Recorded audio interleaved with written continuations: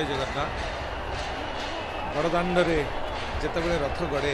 ସେତେବେଳେ ଭକ୍ତଙ୍କ ମନ କେବଳ ଉଦ୍ବେଳିତ ହୁଏ ନା ମହାପ୍ରଭୁଙ୍କ ସହିତ ଏବଂ ମନ ବଡ଼ଦାଣ୍ଡରେ ଆମର ମହାପ୍ରଭୁଙ୍କର ଉପସ୍ଥିତିରେ ଏ ନିତ୍ୟ ଏ ନନ୍ଦିଘୋଷ ରଥ ଜୀବନର ନନ୍ଦିଘୋଷ ରଥ ଆଗକୁ ଯାଉଛି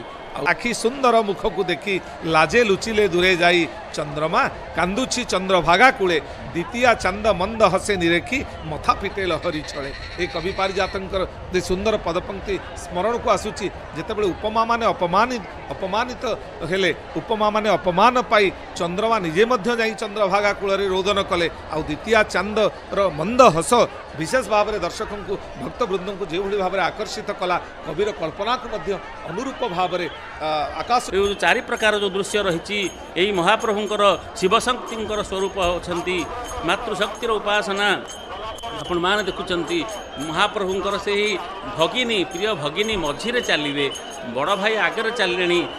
ତାଳଧ୍ୱଜ ରଥରେ ଭଗିନୀ ମଝିରେ ଚାଲିବେ ମଝିରେ ଚାଲିବେ ତାଙ୍କର ଦର୍ପ ଦଳନ ରଥରେ ଏବଂ ଶେଷରେ କାଳିଆ ଗହଳ ଲଗାଇ ଆସିବେ ଏବଂ ମଧ୍ୟ ଚା କାଳିଆଙ୍କର ସେ ଯେଉଁ ରହିଛି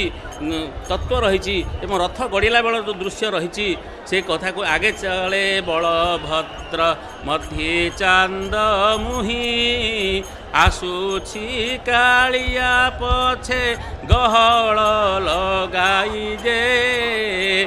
ସେ ମାତୃଶକ୍ତିର ଉପାସନା ମା ସୁଭଦ୍ରାଙ୍କୁ ଆପଣ ଦେଖୁଛନ୍ତି ସେ ହେଉଛନ୍ତି ଶିବ ଆଉ ଶକ୍ତିର ଆରାଧ୍ୟ ଦେବତା ଦେବୀ ସେ ଚୁମ୍ବି କଲା ଏବଂ ସେ କଳ୍ପନା ଭିତରେ କବିତାର ମଧୁସ୍ରାବୀ ଲେଖନ ଭିତରେ ସେହି ମହାପ୍ରଭୁଙ୍କର ସୌନ୍ଦର୍ଯ୍ୟର ବର୍ଣ୍ଣନା ଯେଉଁଭଳି ଭାବରେ କଲା ତାହା ଆମ ସାହିତ୍ୟକୁ ପୁଷ୍କଳ କଲା ଆମ ଆଧ୍ୟାତ୍ମିକ ବିଭବକୁ ମଞ୍ଜୁଳ କଲା ଏବଂ ଭକ୍ତିଭାବ ସମର୍ପଣରେ ଜୀବନକୁ ବାନ୍ଧି ରଖିଲା ସେହି ବନ୍ଧନପ୍ରିୟ ମହାପ୍ରଭୁ ଆଜି ନିଜେ ଭକ୍ତମାନଙ୍କୁ ସେ ସୁଯୋଗ ଦେଇଛନ୍ତି ଯେ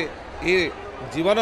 ସକଳ ଜୀବନକୁ ମୁଁ ଯେଉଁଭଳି ଭାବରେ ଆକର୍ଷିତ କରୁଛି ଆଜି ମୋ ରଥକୁ ଏବଂ ମୋତେ ସମସ୍ତେ ଆକର୍ଷଣ କରି ନେଇଯାଉଛନ୍ତି ମୋତେ ଜନ୍ମବେଦୀରୁ କର୍ମବେଦୀକୁ ଆଉ ଜନ୍ମବେଦୀରେ କିଛି ସମୟ ପାଇଁ ମଣିଷ ଯେଉଁ ସମୟରେ ଅବସ୍ଥାନ କରେ କିଛି ସମୟ ପାଇଁ ଟିକିଏ ବିରାମ ନିଏ କର୍ମକ୍ଳାନ୍ତ ଜୀବନ ଭିତରେ କ୍ଳାନ୍ତିର ଅପନୌଦନ ପାଇଁ ଯେଉଁଭଳି ବିରାମ ଲୋଡ଼ା ଯେଉଁଭଳି ବିଶ୍ରାମ ଲୋଡ଼ା ଅନୁରୂପ ଭାବରେ ସେଇ ନୂତନ ପୁଲକ ନୂତନ ଉନ୍ମାଦନା ନେଇ ପୁଣି କର୍ମକ୍ଷେତ୍ରକୁ ମଣିଷ ଯିବାର ଆବଶ୍ୟକତା ରହିଛି କାରଣ ଖୁସିର ମୁହୂର୍ତ୍ତ ଆନନ୍ଦର ମୁହୂର୍ତ୍ତ ଏବଂ ଏକାତ୍ମ